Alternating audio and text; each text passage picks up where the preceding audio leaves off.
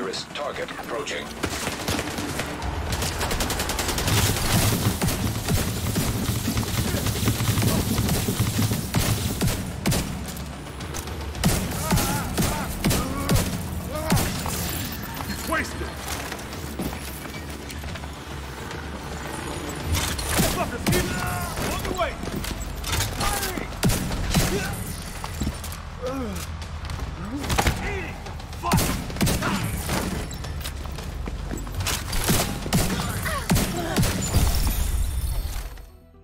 Hello everyone and welcome to another Division 2 video. My name is Rainiere 888 and today's focus is uh, the exotic shotgun Scorpio. This has become one of my new favorite weapons for close combat and I have tried some builds to see what works best.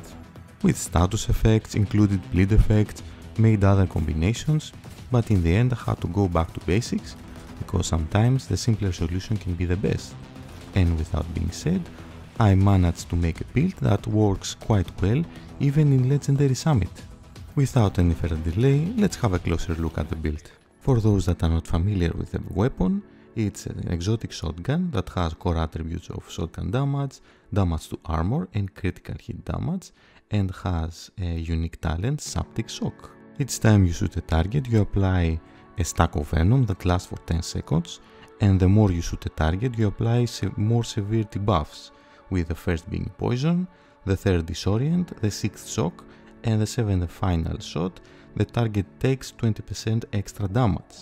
And the duration of all those status effects depend on how many pellets will hit its target. And this is what makes Scorpio great. Every third and sixth shot, your target will be immobilized and unable to act, making 1 versus 1 in PvE situation almost unfair. The secondary weapon is honestly up to your personal preference because I rarely use it. My main focus is the Scorpio, and in this case, I chose to go with a name SMG the Grudge that has perfect vindictive as a talent. Every time you kill an enemy that has a status effect, you and your whole team within 20 meters get a buff that lasts 20 seconds with a plus 18% critical hit chance and critical hit damage. Now go with an SMG because our main focus for a gear set is the Hunter's Fury because of all my tests it uh, proved that it does the most damage and has the highest survivability when you use a shotgun or an SMG. The 4 piece bonus gives us a 15% increase in both shotgun and SMG damage, 20% armor kill, uh, 100% health kill, and of course the Apex Predator, enemies wi- within 15 meters, which is the range of our shotgun, uh, get a debuff that we deal 20% extra damage to them.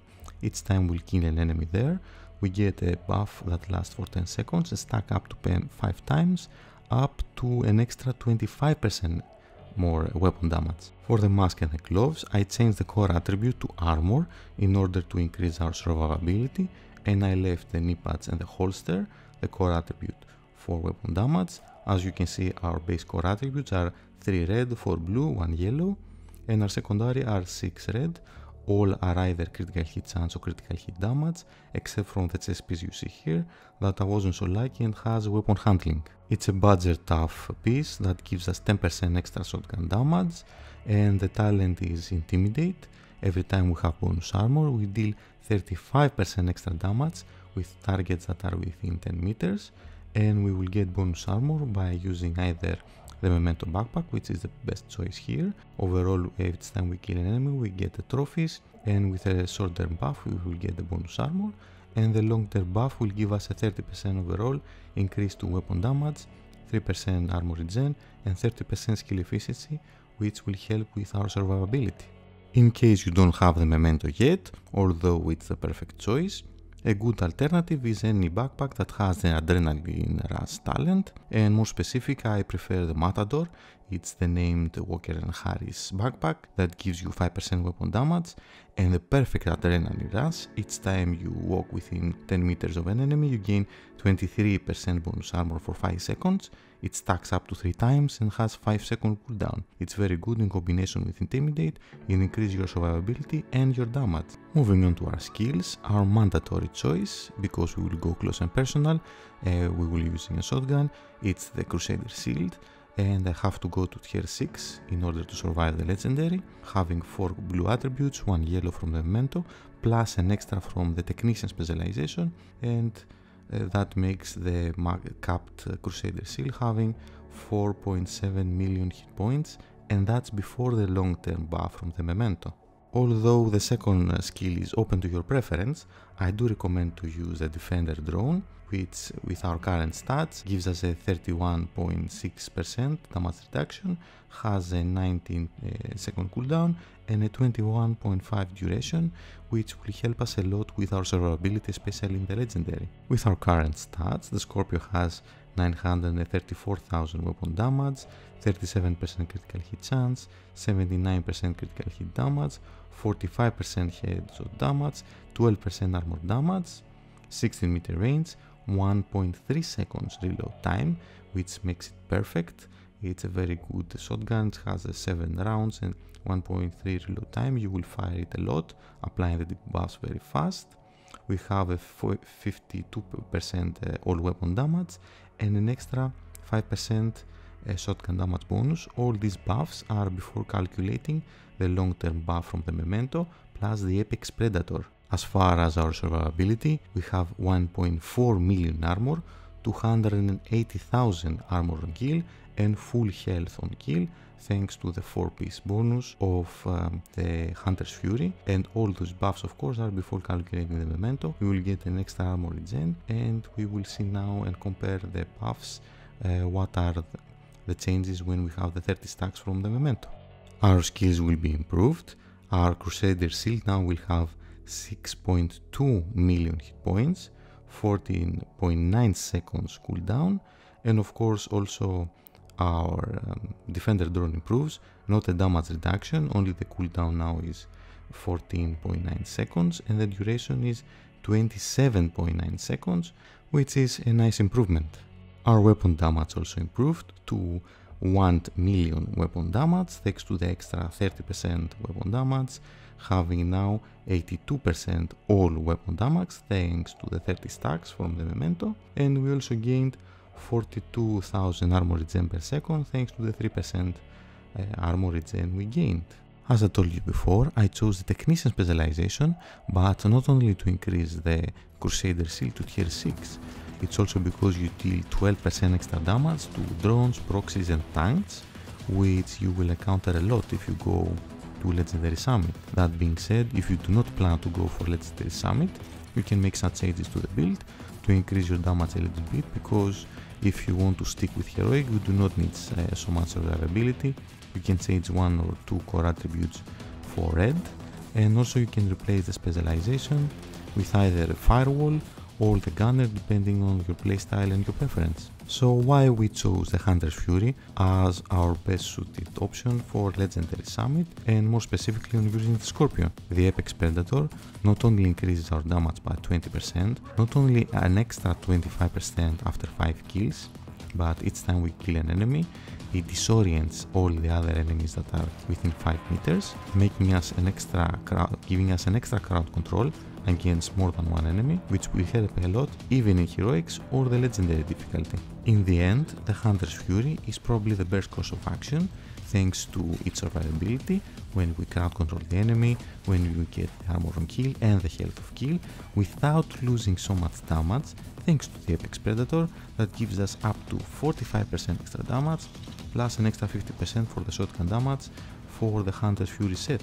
And the Scorpio just elevates this build to quite new heights, giving it availability for legendary, crowd controlling this, the, the first enemy, it's very important because otherwise you had to kill him fast in order to crowd control others or if they were spread you couldn't crowd control them and now you can just run through legendaries, destroy heroics and even named enemies, heavy enemies, uh, the Scorpio just destroys them. Honestly, if the NPCs could, they would ask uh, as soon as possible a nerf for the Scorpio. Now, in case you want to have some fun and do not care about Legendary Summit, this is a build I was trying, unfortunately it didn't work out for Legendary Summit, but you can do heroics with this, uh, using 4 pieces of Ongoing Directive, which gives us 15% status effect, 30% reload speed, each time you kill an enemy with a status effect, you get a hollow point uh, ammo uh, that applies bleed and deals 20% extra damage to the target. For the chest piece you can use the exotic Richweight Pride that has bleeding edge. Each time you shoot an enemy within 50 meters you apply bleed and it repairs your armor for each enemy that bleeds within uh, 15 meters of you and depending on the number it's between 3 and 48%. For the backpack you can use something that has the wicked talent but I do like the anarchist cookbook named uh, backpack that has the uh, perfect wicked talent it increases your weapon damage by 18% each time you apply a status effect for 27 seconds and it also gives you 10, uh, plus 10% for status effects. As far as the rest of the build, I like the gunner specialization to have 10% extra armor kill to add a little extra survivability.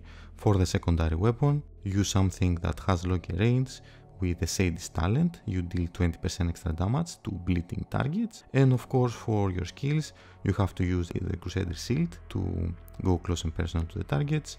And of course my second choice once again was the Defender drone to add a little extra survivability.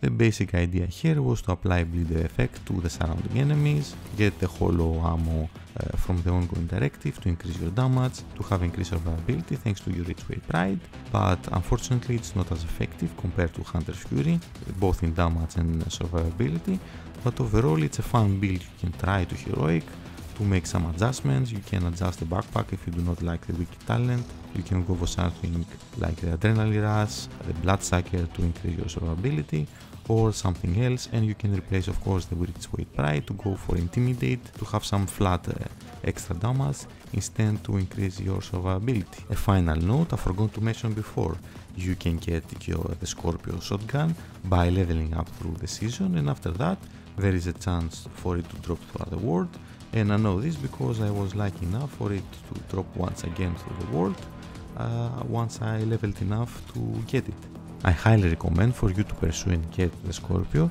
It's one of the best, if not the best currently shotgun in the game, with the only downside, as all shotguns, you have to go close and personal to the target. If that's your playstyle, if uh, if it's a playstyle that you like, you can of course explore it. As I told you, it's almost unfair in one versus one or one versus two fights with the NPCs. And let's cross our fingers that NPCs do not riot, gather together, ask for a nerf because we're having so much fun with them. For the end of the video, I will leave without commentary some gameplay to showcase how powerful the Scorpio is for the Legendary Summit. Please don't hesitate as always, leave your comments any other suggestions you may have below. Stay tuned for more upcoming videos for The Division and many other games. Thank you very much for watching, I wish you all a wonderful day.